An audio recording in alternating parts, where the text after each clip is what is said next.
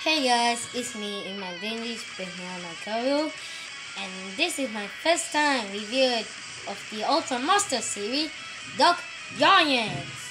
Now we have Donald, Hydra, and Chimera.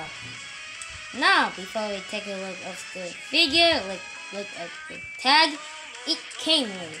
First up, Chimera. As you can see, it's a really nice image. And here's the back Japanese stuff I cannot read. Next. Damn. It's a really nice image too. On the back has a Japanese stuff I cannot read too.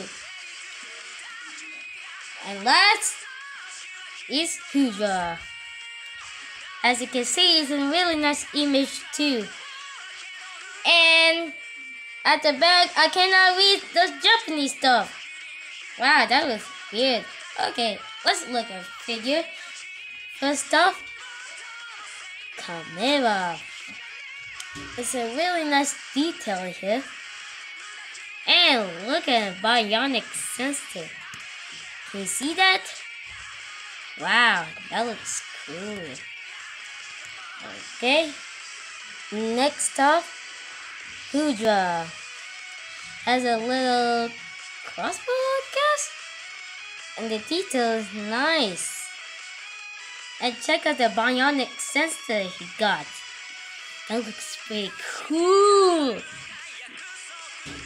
And last one, we got Dom! Has a bionic sensor too. And we look around, we got nice details.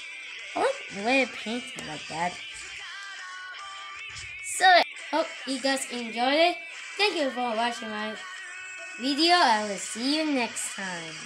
Bye!